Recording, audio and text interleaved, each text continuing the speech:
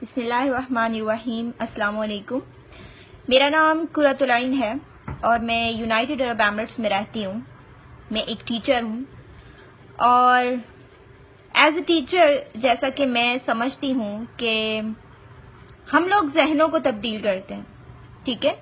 एक उस्ताद जो होता है वो अपने शागिर्दों के जहनों को तब्दील करता है और उनकी आ, कोशिश ये होती है कि उनके बच्चे उनसे इंस्पायर हैं उनसे अच्छी चीज़ें सीखें।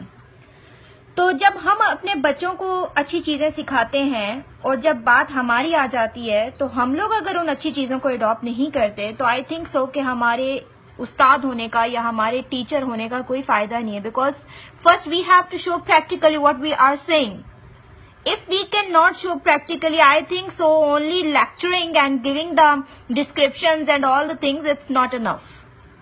हमें खुद पहले खुद पे ये सब चीज़ें लागू करनी होंगी, उसके बाद अपने बच्चों को सिखाना होगा। हदीस मुबारक है एक हदीस मुझे याद आती है, नबी पाक सल्लल्लाहु अलैहि वसल्लम की हदीस का मफहूम है कि फरमाते हैं कि जब आप कोई बुराई देखो तो उसे अपने हाथ से रोकने की कोशिश करो। अगर नहीं इस्तात रखते तो अपनी ज़ुबान से रोको। ज़ुबान से भी रोकने की इस्तात नहीं रखते तो फिर उसको अपने दिल में बुरा ख्याल करो और ये ईमान का सबसे कमज़ोर दर्जा है। ठीक है? लेकिन मैं समझती हूँ कि मैं अपने ज़ुबान से इस चीज़ को सामने लेकर आ सकती हूँ। जैसा कि एक चीज़ है हमारे पास सोशल मीडिया हम लोग इसको गंदी चीज़ों के लिए भी तो यूज़ करते हैं। हम लोग फजूल के कामों के लिए भी तो यूज़ करते हैं। अगर ये चीज़ हम अच्छे किसी काम के लिए इस्तेमाल कर सके तो I think so we have to use it पिछले कुछ दिनों से मैं बहुत ज़्यादा खीनली ऑब्ज़र्व कर रही हूँ पश्तून तहफ़ मूवमेंट को। एज मैं पठान नहीं हूँ। मैं पंजाबी हूँ। मेरा ताल्लुक पंजाब से है। लेकिन पश्तून मेरे भाई हैं, ठीक है? वो भी हमारे मुल्क में रहते हैं, हमारे मुल्क का हिस्सा है, हमारे भाई हैं वो। तो उनके साथ अगर कोई मसला है या वो किसी मसले से दो चार हैं और वो अपने हक के लिए आवाज़ उठा रहे हैं तो हमारा भी फ़र्ज़ बनता है कि हम उस चीज़ को ऑब्ज़र्व करें और देखें कि उन्हें कहाँ पे मसला है।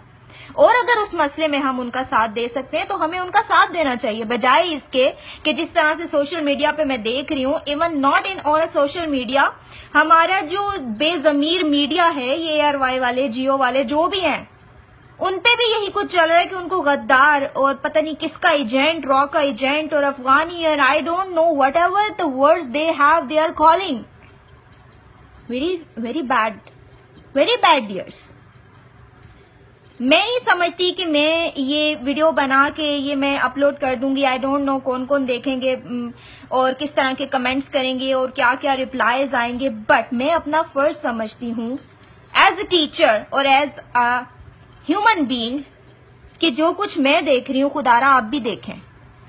उन मासूम लोगों को देखें, उन माओ बहनों, बेटियों को देखें कि जो बैनर्स उठा के लाएँ अपने जानने, अपने प्यारों की और वो बैठी रो रही हैं और दुहाइयाँ कर रही हैं, उनके आँसू तो देखें। मैं आपसे पूछती हूँ, अगर आपके सामने, आपके घर में से किसी को उठा के ले जाया जाए और आपको पता भी ना हो कि ये कब वापस आएगा तो आपका क्या हाल होगा? मैं अपने पंजाबी बहन भाइयों से पूछती हूँ कि अगर ऐसा आपके साथ हो तो आप कैसा महसूस करेंगे? अगले दिन सोशल मीडिया पे मैं एक वीडियो देख रही थी, जिसमें पंजाब पुलिस के एक अहलकार ने स्कूटर पे बैठी एक बच्ची का हाथ पकड़ा और उसको उठा के नीचे ज़मीन पे पटक दिया। पता नहीं क्या मसला चल रहा था आई डोंट नो मुझे अब याद भी नहीं है। तो आप लोगों ने कितना वावेला मचाया उस बच्ची के लिए, कितना आप लोगों ने शोर किया पिछले दिनों जैनब के साथ वाक्य हुआ उस पर कितना शोर मचाया गया। मतलब हम लोग करते हैं अपने हक की बात करते हैं ना जब कुछ बुरा होता है तो। तो उन बेचारों को देखें कि जिनके 11 11 12 12 साल से बच्चे गायब हैं शोहरों का पता नहीं है उनको ये पता नहीं उनका बाप कहाँ गया उनको ये पता नहीं उनका शोहर कहाँ गया बी, बीवियों को ये पता नहीं कि वो बेवा हैं तलाक याफ्ता हैं वो क्या है? उनके बच्चे अपने बाप का इंतज़ार कर रहे हैं खुदारा रहम करो। उनके बारे में सोचो आप लोग। उनके बारे में भी सोचो, वो भी आखिर इंसान है। ठीक है, अगर आप कहते हैं कि जिन लोगों को आपने पकड़ा या जिन लोगों को आपने मार डाला, दहशत गर्द बना के, उनको बताओ। कम से कम आप घर वालों को बताओ तो सही कि हाँ इस बंदे को हम लेके गए, इसका ये केस था या इसका ये मसला था, इसलिए इसको जेल में डाल दिया या इसको मार दिया या इसको सजा दे दी। वो बेचारे घर वाले आज भी दरवाजे की तरफ़ देख रहे हैं। कि शायद यहाँ से हमारा बच्चा या हमारा प्यारा अभी अंदर आएगा और हम उसके गले लग जाएँगे। उन माओ के आँसू देखें। उन बूढ़े बा, एक बूढ़े बाबा जी मुझे पश्तो नहीं आती ना मुझे समझ आती है। मैं सिर्फ़ उन लोगों के आंसुओं को देख रही हूँ कि जो वो वहाँ पे बैठ के बहा रहे हैं और एक उस लीडर के थ्रू एक उस मैं तो उस इंसान को भी देख के बहुत इंस्पायर हुई हूँ और बहुत ज़्यादा मैं समझती हूँ कि ऐसा लीडर होना चाहिए। Very great personality he have Manzoor Ahmad Pashteen उनको जितना मैंने देखा ऑब्ज़र्व किया इवन मैंने बस सुना है उनको, उनकी सिर्फ़ पिक्चर्स में देख रही हूँ सोशल मीडिया पे। मैं समझती हूँ कि इस तरह का लीडर होना चाहिए, जो आपको एक भंवर से निकाल सकता है। तो अगर उनको उस लीडर के अंदर एक होप नज़र आती है, उनको एक चीज़ नज़र आ रही है कि जिसके थ्रू वो लोग अपने प्यारों से मिल सकते हैं या अपने हकूक की बात कर सकते हैं तो आप लोग उन लोगों को गद्दार और रॉक का एजेंट और अफगानी और पता नहीं क्या क्या कह रहे हैं? Very bad I don't think so this is a good way to talk even today in the morning I just saw one video about this thing like on one of the media channel I don't know the name of that channel Kiran Nath sahiba उन्होंने uh, बड़े uh, जोशीले अंदाज में बड़े तकरीरी अंदाज में मुहिबुल वतनी का मुजाहरा किया पाकिस्तान जिंदाबाद और पाइंदाबाद के नारे लगाए और मंजूर अहमद पश्तीन को बड़े चैलेंज वाले आ, आ, आ, उसमें आवाज़ में क्वेश्चंस कर रही हैं। तो किरण साहिबा ये मीडिया पे बैठ के एक कमरे में बैठ के स्टूडियो में बैठ के बात करना बहुत आसान होता है।